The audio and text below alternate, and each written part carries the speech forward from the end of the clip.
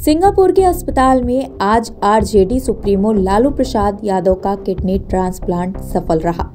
एक घंटे तक ये ऑपरेशन चलता रहा। वही लालू को उनकी बेटी रोहिणी ने अपनी किडनी डोनेट की है। लालू से पहले रोहिणी का ऑपरेशन किया गया। फ़िलहाल दोनों आईसीयू में हैं। लालू के छोटे बेटे और डिप्टी सीएम तेजस्वी ने फेसबुक पर एक वीडियो भी शेयर किया है। उन्होंने लिखा है कि पापा होश में हैं बातें भी कर रहे हैं। आप सभी की शुभकामनाओं के लिए कोटि कोटि धन्यवाद। आपको बता दें कि आरजेडी सुप्रीमो के किडनी ट्रांसप्लांट की प्रक्रिया 3 दिसंबर से शुरू हो गई थी। रोहिणी और लालू दोनों का ब्लड ग्रुप बी पॉजिटिव है।